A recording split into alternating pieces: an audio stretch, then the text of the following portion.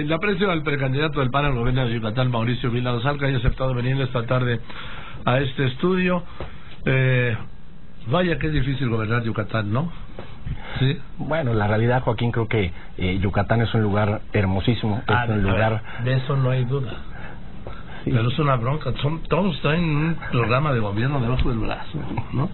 Bueno, es una entidad que se ha caracterizado siempre por ser muy muy participativa. La gente siempre está muy eh, pendiente de los asuntos eh, políticos de la ciudad y bueno y del estado pues, también. Y bueno, ha sido un lugar donde sin duda han habido pues este grandes momentos grandes momentos y grandes personajes del panismo, ¿no? Carlos Castillo, por ejemplo. Carlos Castillo Peraza, por supuesto. Así es.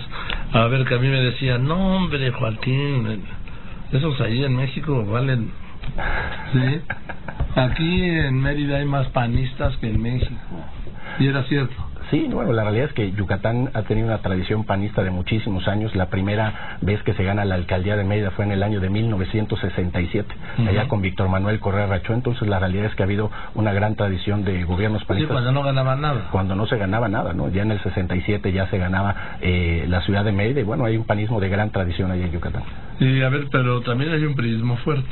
Sí, evidentemente creo que Yucatán ha sido un estado eh, bipartidista, ¿no? Entre el PRI y el PAN, pero bueno, nosotros estamos eh, ahora sí que muy emocionados de poder participar en esta eh, contienda. Tú sabes, Joaquín, que a mí me tocó ser alcalde de la ciudad de Mérida, que ha sido uno de los mayores orgullos que he tenido, pues una ciudad que se distingue por su calidad de vida, por su seguridad, por todo el tema cultural y la gente, por supuesto. Pero ¿y por qué no te reelegiste? Pues mira, Joaquín, yo creo que eh, la política es de coyunturas. Yo llevo apenas eh, seis años en política, yo soy empresario, siempre me había dedicado a mi negocio. Quise entrar a la política porque pues vi la oportunidad pues de poder dejar un lugar mejor para mis hijos. Y bueno, pues hoy eh, la vida nos pone en este gran reto, un gran reto. ¿Cuántos años tienes? 37 años, Joaquín. Cumplo 38 ahorita ya en marzo. No, ya estás mayor. Este, ¿Y tú crees que luego porque los yucatecos no son fáciles, digo, son a todo dar, si vas así, te tratan padrísimos, generosos, gentiles, cálidos, pero cuando ya entran en la batalla política ya es otra cosa, ¿no? Sí, bueno, la realidad es que los yucatecos somos gente muy trabajadora, muy apasionada y en el tema de la política pues sí han habido momentos eh, complicados. Yo hoy veo en Yucatán eh, un clima, la verdad, de tranquilidad, un clima donde yo creo que eh, hoy tenemos condiciones que no se dan en otros lugares del país, ¿no? La calidad de vida, la seguridad y eso es algo que hemos construido todos los yucatecos. ¿Y Morena cómo está ahí? Pues Morena es un partido que, que no tiene tanto arraigo, ¿no? Como hay en otros estados, es un partido que apenas se está empezando eh, a tener su primera alcaldía, ganaron un municipio que es el municipio de Valladolid, pero bueno, yo creo que hoy esta contienda se centra entre el Partido Acción Nacional y el PRI. A ver, eh, ¿con quién vas aliado? Pues mira, hasta este momento vamos aliados con Movimiento Ciudadano, todavía tenemos que eh, concretar esta alianza porque en Yucatán tenemos una figura que no hay en todo el país, que es eh, las candidaturas comunes. Y bueno, y tenemos hasta hasta mediados del mes de marzo para buscar eh, si también podemos ir con el PRD, que no hemos podido lograrlo, pero bueno. tampoco tiene mucha presencia en, Yucatán. Mira, la realidad, como te decía, realmente es un bipartidismo muy fuerte que hay en Yucatán, el PRD no tiene tanta presencia, pero bueno, yo creo que ahorita de lo que se trata es de sumar, de poder construir proyectos en común, proyectos que abonen a lo que es el, ¿Cuáles son los tres principales problemas de Yucatán? Pues mira, yo te podría eh, decir, Joaquín, eh, el tema de la salud es un tema, yo ahorita recorrí en la precampaña los 106 municipios y en todos encontramos eh, una deficiencia en los servicios de salud pública, hablamos de falta de doctores, de falta de medicamentos, los yucatecos tienen que desplazarse muchas veces a otros municipios para poder ser atendidos.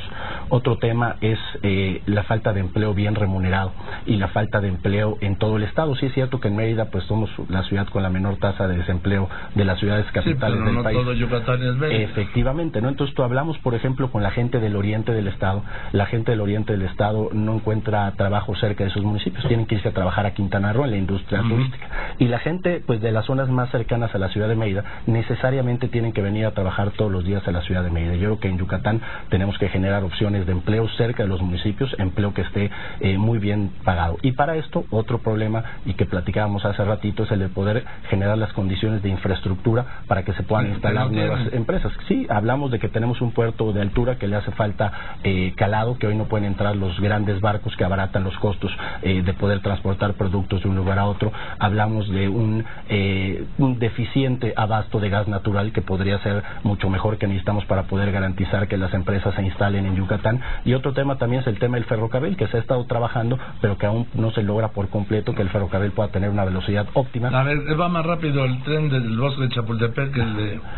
Pues sí, más o menos, ¿no? La velocidad que se tenía de 8 kilómetros por hora, ahora se está buscando una velocidad de 35 no, kilómetros. Hombre, tren bala, tren bala, sí. Te, digo que son deficiencias de infraestructura que tenemos en el Estado y que tenemos que trabajar para poder generar esos empleos. El promedio de velocidad del tren de Yucatán es, es, es Chiapas, ¿qué? El Chiapas Mayap. El Chiapas Mayap es de 8 kilómetros por hora, es un récord mundial. Yo creo que, debe de andar por allá. Sí, no, no hay un ferrocarril en el mundo que vaya 8 kilómetros por hora. Pues mira, la, realidad es que son temas que traemos ya de muchos años, temas que no se han podido eh, solucionar y bueno, creo que eso es de los grandes retos que tenemos y creemos que así como pudimos hacer eh, de Mérida una ciudad que cada día está mejor con el apoyo de todos los meridanos, también lo podemos hacer por Yucatán. Me quedo con este tema, que ahora sí que parece cuento con todo respeto de Yucateco, de que un tren que va más despacio de lo que la gente camina. Así es. A 8 kilómetros por hora. O sea, ¿cuánto hace en su ruta? ¿Cuántos kilómetros son? No, bueno, normalmente esa esa ruta pues es la que va de la ciudad de Mérida al centro del país. No, esta no es una deficiencia solo en el estado de Yucatán, sino de todo el tema de las vías del tren entre todas estas cosas. Pero ahí además estuvo abandonado mucho tiempo y ha estado abandonado, ¿no? Así es. En fin, bueno, pues espero que para esta campaña no te subas a ese tren. No, bueno, esperemos que... Porque no vas a llegar nunca. esperemos que podamos eh, subirnos en el, en el tren de los yucatecos, ¿no? En un lugar donde todos podamos seguir construyendo el lugar que queremos para nuestros hijos y un lugar donde existan pues las posibilidades y las igualdades de circunstancias para poder salir adelante. Gracias, te aprecio mucho, Mauricio Vila Dosal. Tuve los compañeros Dosal en la escuela. Eh, eh, precandidato del PAN hasta ahora y de Movimiento Ciudadano, ¿ya? Al gobierno de Yucatán. Gracias. Al contrario, Joaquín, muchas gracias. Buenas tardes.